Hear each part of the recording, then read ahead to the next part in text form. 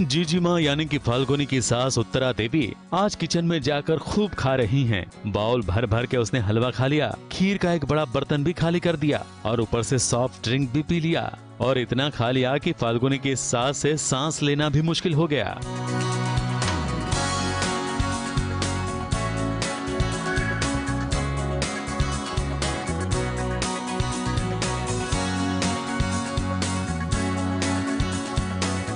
वो क्या है ना एक्चुअली गड्ढा मैंने फाल्गुनी के लिए खोदा हमेशा की तरह, उसमें जाके मैं गिरी।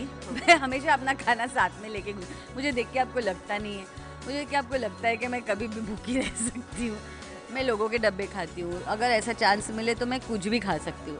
मैं फूल, झाड़, पत्ते कुछ भी खा सकती हूँ, भूख लगे तो। जैसी करनी, वैसी भरनी। फाल्गुनी का मुँह बंद करने चली थी उत्तरा देवी, और खुद का ही मुँह चिपक गया था। कहीं ये फाल्गुनी की एक दिन पहले की हरकत का बदला तो नहीं, क्योंकि एक ही दिन पहले फाल्गुनी ने उत्तरा देवी के घर पर हो रही किटी पार्टी में खूब हंगामा किया था। उत्तरा देवी की एक सहेली को तो ये तक कह दिया था, कहीं आपने चोरी करके अपने बैग में समोसे तो नहीं भर दिए? तो दूसरी एक दोस्त के तो बालों को ही खींच लिया था, और उनका टकला सबके सामने आ गया था।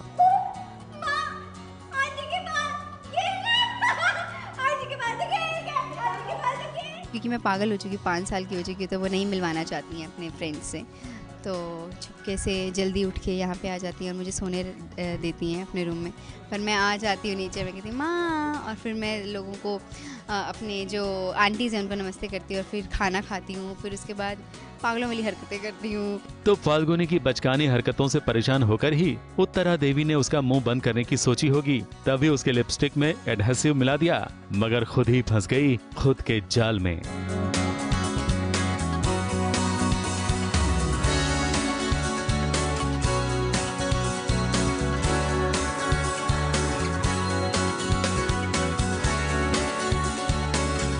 मुंबई से कलीम सलमान के साथ एबीपी न्यूज़ रिपोर्ट